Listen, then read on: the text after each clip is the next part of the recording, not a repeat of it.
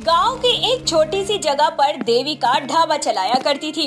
देविका एक बुज़ुर्ग महिला थी, जिसकी सादगी और मेहनत सभी को बहुत प्रभावित करती थी और उसके परिवार में उसका बेटा मोहन और उसकी बहू रानी रहा करते थे। मोहन शहर में नौकरी किया करता था और महीने में एक दो बार वह अपने घर आया करता था। रानी की सास अपने ढाबे पर ही घर का खर्चा चला रही थी। एक दिन जब वह अपने घर से ढाबे पर जाने के लिए निकल रही होती है तभी रानी उन्हें आवाज़ देते हुए बोलती है माँ जी कुछ खाकर तो जाइए। आप ऐसे ही ढाबे पर जा रही हो और जाते ही काम में लग जाओगी। फिर आपको खाने पीने का कुछ भी होश नहीं रहेगा क्योंकि आपको अपने ढाबे के अलावा तो कुछ दिखाई ही नहीं देता। बहू मेरी चिंता मत कर और अपने खाने पर ध्यान दे।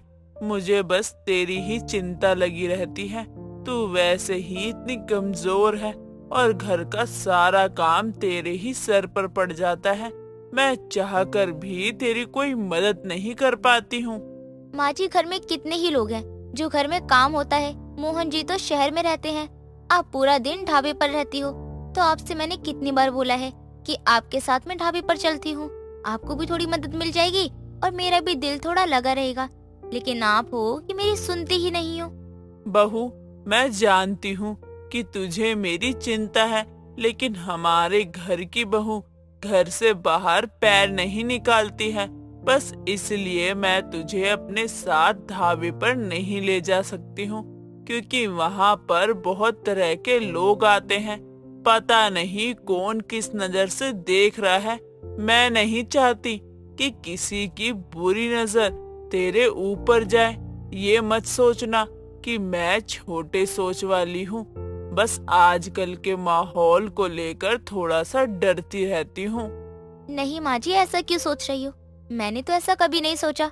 मुझे अच्छी तरह से पता है कि आप मेरे लिए जो कुछ भी करोगी ना अच्छा ही करोगी। ठीक है बहू अब मैं ढाबे पर चलती हूँ। वैसे भी तुझसे बात करते करते बहुत समय हो गया है। मैं और देर नहीं करना चाहती हूँ। देविका इतना कहकर अपने ढाबे पर चली जाती है और अपने कामों में लग जाती है। देविका के ढाबे की खासियत थी उसका सादा स्वादिष्ट भोजन। देविका की रसोई में बनी हुई रोटियाँ और सब्ज़ियाँ खाने वाले हर व्यक्ति को घर के खाने की याद दिलाया करती थी। देविका के ढाबे पर रोज गाँव के किसान, मजदूर और कई लोग आया करते थे। सभी को देविका के हाथ का बना हुआ खाना बहुत पसंद था। एक दिन गाँव में सरपंच रामलाल देविका के ढाबे पर आते हैं। उन्होंने देखा कि ढाबा बहुत छोटा है और खाना बहुत ही सादा है, लेकिन खाने में किसी तरीके की कोई कमी नहीं है। तभी रामलाल देविका से कहते हैं अम्मा जी आपका ढाबा तो बहुत अच्छा है लेकिन इसको थोड़ा बड़ा और सुंदर बनाइए ताकि ज़्यादा लोग आ सके सरपंच जी मेरे पास इतने पैसे नहीं हैं कि मैं इसे बड़ा और सुंदर बना सकूँ। मेरे लिए सबसे महत्वपूर्ण बात है कि मेरे खाने से लोग खुश रहें। अरे अम्मा जी अब काय पैसों की चिंता करती है जब काम शुरू होगा तो कहीं ना कहीं से इंतज़ाम हो ही जाएगा। सरपंच जी जब मुझे अच्छी तरह से पता है कि मेरे पास इतने पैसे नहीं हैं, मैं ऐसा काम क्यों करूँ? मुझे अपने घर का खर्चा उठाने बस मुझे दाल रोटी मिल जाए बस वही मेरे लिए काफ़ी होता है। देविका की बात सुनकर रामलाल उसकी मदद करने की सोचता है। उन्होंने गाँव की पंचायत में इस बात को उठाया और सभी सदस्यों ने मिलकर तय किया कि देविका को कुछ आर्थिक मदद की जाए। कुछ दिनों बाद पंचायत ने देविका को एक बड़ी रकम दे दी। देविका ने उन पैसे से अपने ढाबे को एक नया रूप और परिवर्तन दिया। ढाबे में कुर्सियाँ, मेज साफ़ सुथरी रसोई आदि जैसी चीज़ों का प्रबंध किया गया। उन्होंने कुछ नए बर्तन भी खरीदे जिससे ढाबा और भी सुंदर लगने लगा। ढाबे की साज सजावट से गाँव के लोग बहुत खुश हो जाते हैं और भी ज़्यादा लोग देविका के ढाबे पर आने लगते हैं। देविका ने अपने ढाबे के खाने का स्वाद वही रखा जो कि पहले था। उन्होंने अपने ढाबे का नाम गरीब सास का ढाबा रखा था ताकि लोग जान सके कि इस ढाबे की मालकिन कितनी ज़्यादा मेहनती और लगनशील औरत है। इन सब के बारे में सुनकर उसकी बहू बहुत खुश होती है और वह अपनी सास से बोलती है माँ जी मैं आपकी इस नई कामयाबी से बहुत खुश हूँ। पूरे गाँव में बस आपकी ढाबे की चर्चा चल रही है। मुझे सच में बहुत खुशी हुई कि आपका ढाबा इतना अच्छा चल रहा है। बहू इस कामयाबी में सिर्फ़ अकेला मेरा ही हाथ नहीं है बल्कि पूरे गाँव वाले और सरपंच जी का बहुत बड़ा हाथ है। उन सभी लोगों ने मिलकर मुझे इतनी बड़ी रकम दी, जिससे मैंने अपने ढाबे का रूप बदला। भगवान उन लोगों को हमेशा खुश रखे। उन लोगों ने मेरी गरीबी को समझा और मेरा साथ दिया है। देविका पूरी लगन और मेहनत के साथ ढाबे पर काम करने लगती है। समय के साथ उसका ढाबा पहले से भी ज़्यादा अच्छा चलने लगता है। दिन बहुत बड़ा व्यापारी, जिसका नाम राजेश गुप्ता था, वह अपने दोस्तों के साथ देविका के ढाबे पर आता है। राजेश शहर का एक प्रसिद्ध व्यापारी था। उसने देविका के ढाबे का खाना खाया और वह काफ़ी ज़्यादा प्रभावित भी हुआ और देविका को अपना ढाबा और बड़ा करने का सुझाव भी देता है, लेकिन देविका मना कर देती है। फिर भी राजेश गुप्ता उसे समझाता है और उसे आश्वासन भी देता है कि वो उसकी मदद करेगा। इसके बाद राजेश गुप्ता ने अपने व्यापार के माध्यम से देविका के ढाबे की तारीफ़ की और उनके ढाबे को और भी ज़्यादा प्रसिद्ध बना दिया। अब देविका का ढाबा केवल गाँव का नहीं, बल्कि आसपास के शहरों का भी प्रसिद्ध ढाबा हो गया था। अब दूर दूर से लोग देविका के ढाबे पर आने लगते हैं। देविका ने अपने ढाबे में और लोगों को काम पर रख लिया था ताकि ग्राहकों को सारी सेवाएँ समय पर मिल सके। तभी देविका का बेटा मोहन शहर से गाँव आता है और अपनी माँ के ढाबे को देखकर हैरान रह जाता है और बोलता है क्या बात है माँ आपने ढाबे का नक्शा ही बदल दिया। ऐसा लग ही नहीं रहा है किसी गरीब का ढाबा है। ये तो बिल्कुल किसी अमीर का फाइव स्टार होटल जैसा लग रहा है। लेकिन आखिर ये सब हुआ कैसे? बेटा ये सारा चमत्कार गाँव के लोगों और सरपंच जी की मदद के कारण ही हो पाया है। लोगों को मेरे हाथों का खाना बहुत पसंद आया। इसके बाद उन लोगों ने इस ढाबे को सुधारने का फैसला किया। उसके बाद पंचायत ने मिलकर मुझे पैसे की बहुत बड़ी रकम दी। उन्हीं पैसों से मैंने ये सब किया है। उसके बाद एक व्यापारी भी यहाँ पर आया और उसने अपनी जानकारी से मेरे ढाबे को शहर तक पहुँचाया। अब शहर से भी लोग यहाँ खाना खाने के लिए आते हैं। वैसे माँ एक बेटे का फ़र्ज़ बनता है कि वो अपनी माँ का नाम रोशन करे। लेकिन यहाँ तो उल्टा हो गया। एक माँ ने अपने बेटे का नाम रोशन किया है। माँ आपकी तरक्की देखकर मैं आज बहुत खुश हूँ। बेटा मैं तुझसे बात करना चाहती हूँ। क्या तू मेरी बात मानेगा? हाँ माँ कहिए ना क्या कहना है आपको? वैसे मैं आपकी सारी बात मानूँगा क्योंकि एक बेटे होने का फ़र्ज़ निभा तो पाया नहीं लेकिन कम से कम आपकी बात मानकर आपको खुशी तो दे सकता हूँ। नहीं बेटा ऐसा मत बोल। तूने अपने बेटे होने का सारा फ़र्ज़ निभाया है। मैं बस तुझे ये कहना चाहती हूँ कि अब सब कुछ ठीक हो गया है। हमारे घर का गुजारा भी अच्छा खासा हो जाता है तो तुझे शहर जाकर नौकरी करने की कोई ज़रूरत नहीं है, जब मैं दूसरों को अपने ढाबे पर काम पर रख सकती हूँ तो क्यों ना तू भी मेरे साथ मिलकर इसी ढाबे को चलाए। इसी बहाने तू बहू के पास भी रह पाएगा। तू शहर चला जाता है तो बहू बहुत अकेली हो जाती है। क्योंकि मैं भी ढाबे के काम में पूरे दिन लगी रहती हूँ। वो मुझे कहती नहीं है, लेकिन हर पल तुझे याद करती है, बेटा। वैसे माँ, आप कह तो सही रही हैं, क्योंकि बार बार मुझे शहर से गाँव गाँव से शहर जाने में ना बहुत दिक्कतें होती है और बहुत परेशानी होती है। और आप लोगों के बिना मुझे कुछ अच्छा भी नहीं लगता है, और वहाँ पर रानी की भी याद आती है, और एक पति होने के नाते उसका सुख दुख देखना भी तो मेरा फ़र्ज़ बनता है ना। और जब मैं आप लोगों के साथ रहता हूँ ना तो मुझे दुनिया की सारी खुशियाँ मिल जाती है। और जब अकेला शहर में रहता हूँ तो बहुत बुरा फील होता है। इसीलिए अब मैं ना आप लोगों के साथ रहूँगा। और एक बेटे का और पति का दोनों का फ़र्ज़ ना अच्छे से निभाऊँगा। बेटा इसका मतलब तू अब शहर लौटकर नहीं जाएगा ना? यहाँ मेरे साथ रहकर ही ढाबे को संभालेगा ना? नहीं माँ अब मैं शहर में वापस नहीं जाऊँगा।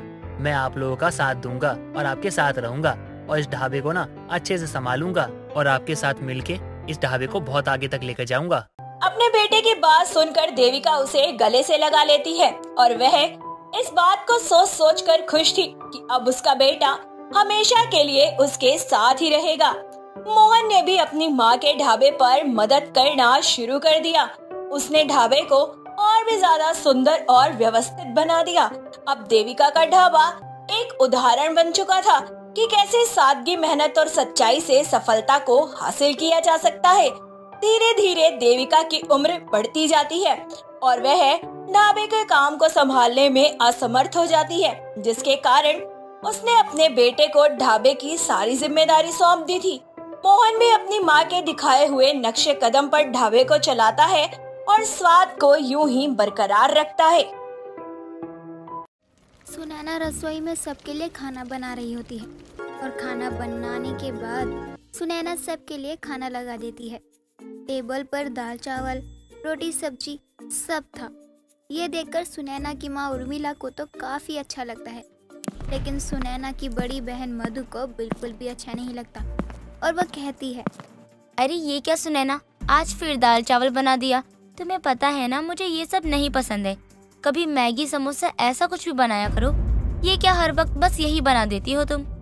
एक तो तू कभी खुद कुछ बनाती नहीं है। बड़ी बहन तू है लेकिन फिर भी तेरी छोटी बहन ही सब कुछ बनाती है। अरे जब वो बेचारी ये सब कर रही है तो तू चुपचाप खा क्यों नहीं लेती? कमी निकालना ज़रूरी है क्या? मैं कमी कहाँ निकाल रही हूँ? मैं तो बस बोल रही हूँ कि मुझे ये सब नहीं पसंद है तो मैं ये सब नहीं खाने वाली हूँ। लेकिन हमेशा ये सब बनाना ज़रूरी है क्या? कल भी मैंने दाल चावल ही खाए थे और फिर आज भी ये? दीदी अब हर रोज मैं बाहर का कुछ नहीं बना सकती ना। और आपने दिन में समोसे खाए थे तो रात में दाल चावल ही खा लो ना। हर जगह आपको दाल चावल ही खाने को मिलेगा। देखो मैं तो नहीं खाऊँगी दाल चावल। मैंने पहले ही कहा था कि ये सब नहीं खाऊँगी मैं लेकिन फिर भी बना दिया है। मैं नहीं खा रही ये दाल चावल। मैं जा रही हूँ अपने लिए कुछ बाहर से ऑर्डर करने। सुना ना तू खा। इसे तो पता नहीं सड़ी हुई चीज़ें क्यों पसंद आती हैं। खाने दे जो खाना है खाए। तू ये खा। थोड़ी भी अकल नहीं है इस लड़की में। छोटी बहन सब बना रही है, लेकिन खाने की कदर नहीं है इसे। माँ खाने की बहुत कदर है। तभी तो मैं पहले ही बता देती हूँ कि मुझे क्या खाना है। लेकिन अब जो मुझे खाना होता है ना, वो बनता तो है नहीं। तो इसमें क्या ही मेरी गलती है। कभी अपनी लाडली बेटी को कुछ बोल भी दिया करो। आज तक अभी ऐसा नहीं हुआ कि वो खुद अपनी मर्ज़ी से बना दे, जो मुझे अच्छा लगता है। तू यहाँ हमें शांति से खाने दे। तू तो मंगवा रही है ना? अपने लिए बासी गंदा खाना। तो वही खा। लेकिन यहाँ से थोड़ा दूर होकर, क्योंकि हम तो यही खा रहे हैं और हमें थोड़ा शांति चाहिए।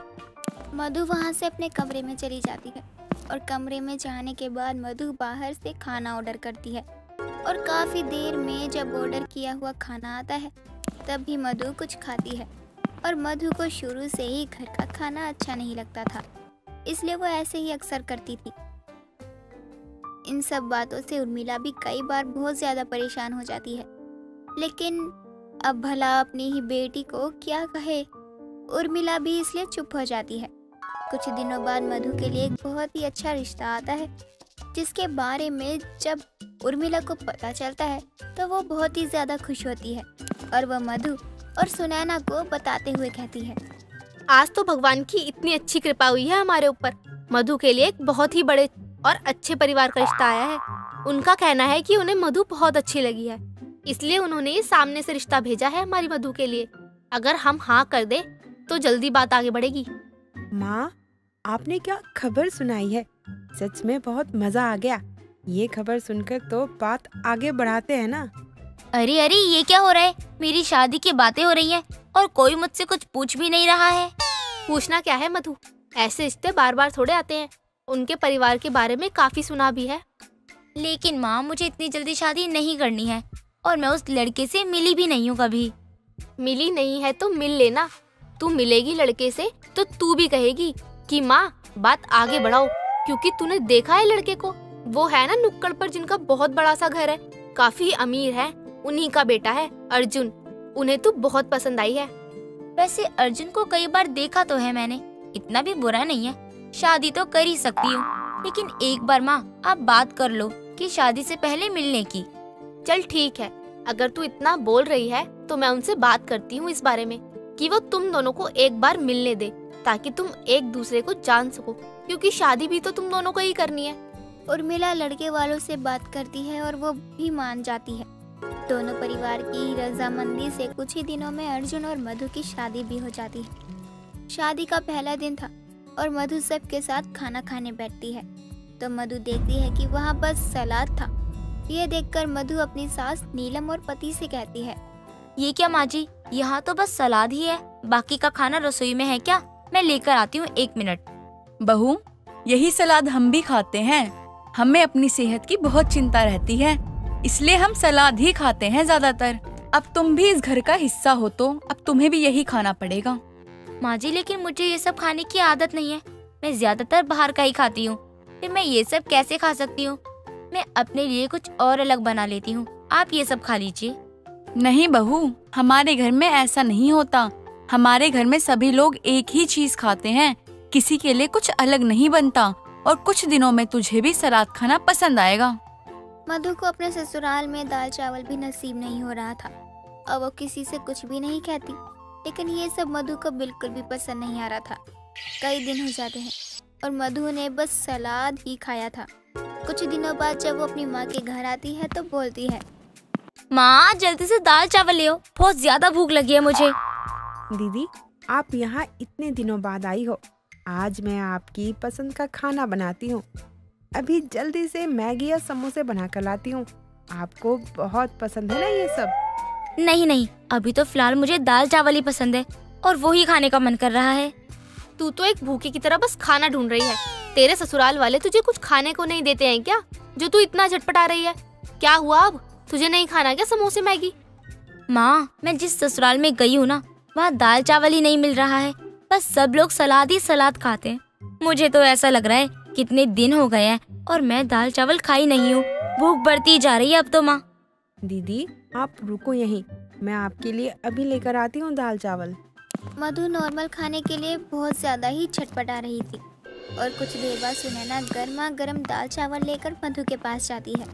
तो उसके मुँह में पानी आ जाता है और वह जैसे ही खाने के लिए हाथ बढ़ाती है कि तभी उसकी सास का फ़ोन आ जाता है और वो मधु को वापस घर बुला लेती है। इतनों दिनों से मधु सलाद खा रही थी तो वो बस अब दाल चावल को ही तलाशने लग जाती थी। कुछ दिनों बाद मधु को चक्कर आते हैं और वह ज़मीन पर गिर जाती है। तभी नीलम आती है और उसके मुँह पे पानी डालते हुए कहती है बहू क्या हुआ बहू? तू ठीक तो है ना? तुझे चक्कर कैसे आए? मैं तुझे तेरे कमरे तक लेकर चलती हूँ और खाने को भी लाती हूँ। शायद तुझे कमज़ोरी हो गई है। नीलम मधु को लेकर कमरे में जाती है। मधु के लिए नीलम कुछ खाने को लाती है और खिलाने लगती है। लेकिन मधु कुछ भी खाने से मना कर देती है। बहू क्या हुआ? तू कुछ खा क्यों नहीं रही है? देख रही हूँ मैं तुझे कब से। तुझे कितने दिनों से कमज़ोरी हो गई है और अब तो कुछ खा भी नहीं रही है। ऐसे तो तेरी ज़्यादा तबीयत खराब हो जाएगी ना? माफ़ करना माँ जी मेरी तबीयत मेरी तबीयत इसलिए खराब हुई है। मैं बहुत कुछ खाती थी लेकिन दाल चावल मेरे घर में रोज बनता था और मैं वो ही कभी नहीं खाती थी। और मेरी किस्मत देखो मेरी शादी ऐसे घर में हुई जहाँ दाल चावल ही नसीब नहीं होते हैं। अच्छा तो तेरी तबीयत इसीलिए खराब हुई है? जी माँ जी मुझे दाल चावल खिला दो। मेरा ना बहुत मन है दाल चावल खाने का। मधु की बात सुनकर नीलम उसके लिए दाल चावल बनाती है और अपने हाथों से उसे खिलाती भी है। शंतु अपनी बहू राखी से परेशान थी क्योंकि दोनों ही सास बहुओं में टीवी देखने को लेकर होड़ मची रहा करती। हे प्रभु आप ऐसा कैसे कर सकते हैं? ये आपने बहुत गलत किया। अब वो किसके भरोसे रहेगी? अरे ये तो बहू की आवाज़ है लेकिन वो रो क्यों रही है? केशव उस पर कभी हाथ तो नहीं उठा रहा? कहीं उसके दादा तो नहीं निपट गए? हे प्रभु मैं आपकी दिन रात पूजा करती हूँ लौटा दो। उस बच्ची को उसकी माँ लौटा दो। ये मैं अपनी आँखों से नहीं देख सकती। बहू क्या बात है? क्यों रो रही है? इतना सब हो गया क्या तेरे मायके में? बंद करिए टीवी रोते नहीं है बहू। अब क्या कर सकते हैं? तेरे दादा की वैसे भी अस्सी साल उम्र थी। ये तो बहुत बड़ी ज़िंदगी देख ली उन्होंने। कब? कैसे? मेरे दादाजी से तो मेरी कल ही बात हुई थी तो वो मरे कब? अरे मुझे किसी ने बताया क्यों नहीं कुछ? अरे तो तू सुबह सुबह क्यों रो रही है? मुझे तो लगा तेरे दादा निपट गए होंगे। तो तू सुबह सुबह इतना क्यों रो रही है? अरे शुभ शुभ बोलो माँ जी। वो तो अभी सौ साल जीने वाले हैं। आप ही कैसी बातें कर रही हो? तो फिर एक बात बता तू सुबह सुबह क्यों रो रही है? क्या बात होगी ऐसी जो तू सुबह सुबह हमारा जीना हराम कर रही है? अरे वो तो मैं टीवी में फ़िल्म देख रही थी। माँ की ममता उसमें एक छोटी सी बच्ची को माँ छोड़कर चली जाती है। माँ जी ये भगवान भी कैसा अन्याय करता है? हे प्रभु विमला ठीक ही कह रही थी। कि गाँव की गवार बहू को तो तू ब्याह कर ले आई है लेकिन इसका अंजाम भी बुरा ही होगा। माँ जी आप क्या जाने? माँ की ममता मुझसे पूछो। मुझे पता है माँ से दूर रहना कैसा होता है। बहू तू चुप हो जा वरना मैं टीवी को किसी के हाथ बेच दूँगी। शंतु अपनी बहू के टीवी देखने की आदत से परेशान थी। साथ ही इस बात से भी परेशान थी कि राखी जो भी टीवी में देखती थी उसे असल समझकर रोने या दुखी हो जाया करती।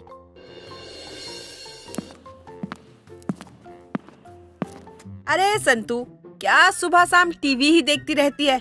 चल ना पार्क में घूम आते हैं। अरे नहीं नहीं बैठ बैठ ना। देख ना ससुराल बिन सास नाटक में ना ना जाने इसकी सास कहाँ से आ गई है। अब पता चलेगा बहू को कि असल सास क्या होती है। अरे संतू तू ये क्या बात कर रही है? ये तो सच में देखने में बड़ा ही मज़ा आने वाला है। अरे बहू कहाँ है? दो कप चाय ले आ। अब शंतु तो अपनी पड़ोसन विमला के साथ टीवी देख ही रही होती है। लेकिन जब राखी अपनी सास और पड़ोसन के लिए चाय लेकर आती है तो वो भी टीवी के पास ही बैठ जाती है। और टीवी देखने में सब इतने मगन होते हैं कि किसी को भी किसी चीज़ का ध्यान ही नहीं रहता। अरे कहाँ को जाऊँ? कहाँ छुपू? अरे ये हमारे मोहल्ले में आतंकी हमला कब से होने लगा? अरे संतु मुझे भी कहीं छुपा ले। अरे विमला ये ज़रूर कांता के समधी ही होंगे। उनके बेटे ने मुस्लिम लड़की घर में जो रखी है ना वो भी बिना निकाह किए। तू सही कह रही है संतू। वहीं आए होंगे मारने की धमकी देने के लिए।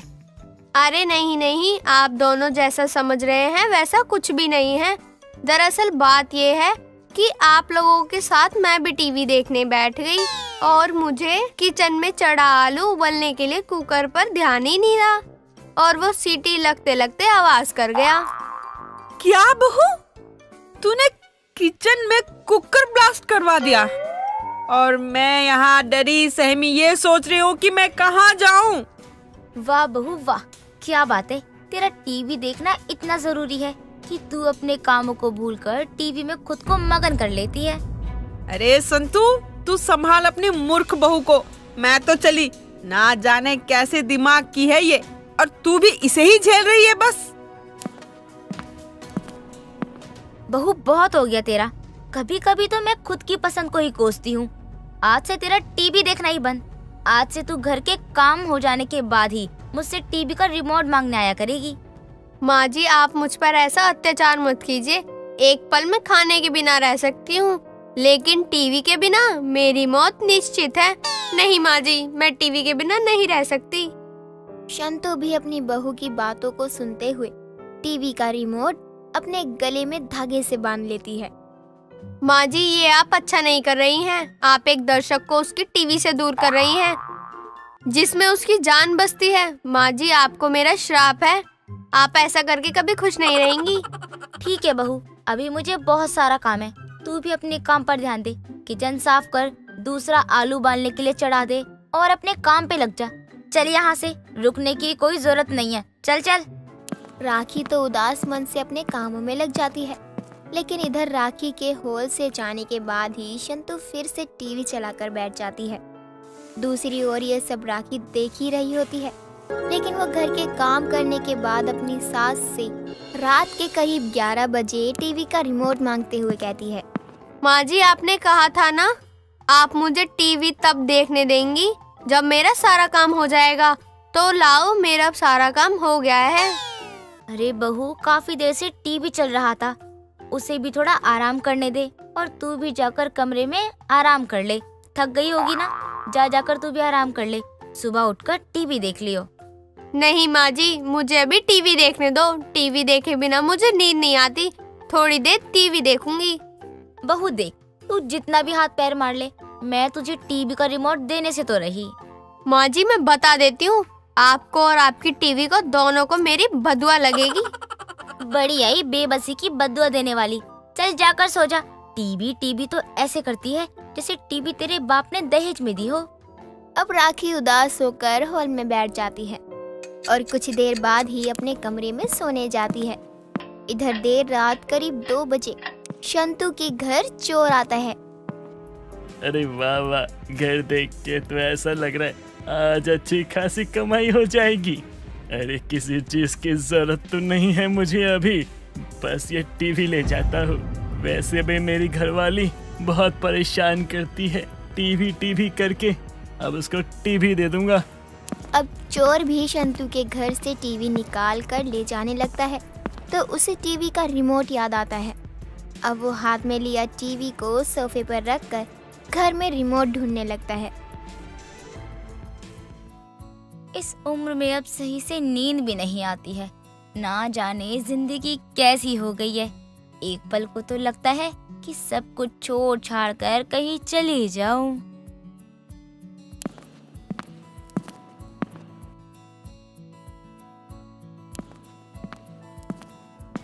अरे टीवी यहाँ क्या कर रहा है?